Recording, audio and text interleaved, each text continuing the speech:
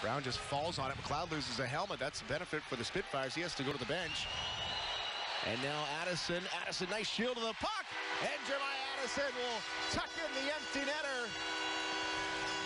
Rocky celebrates behind the bench. Spits go ahead 4-2. Rocky was fist pumping back there.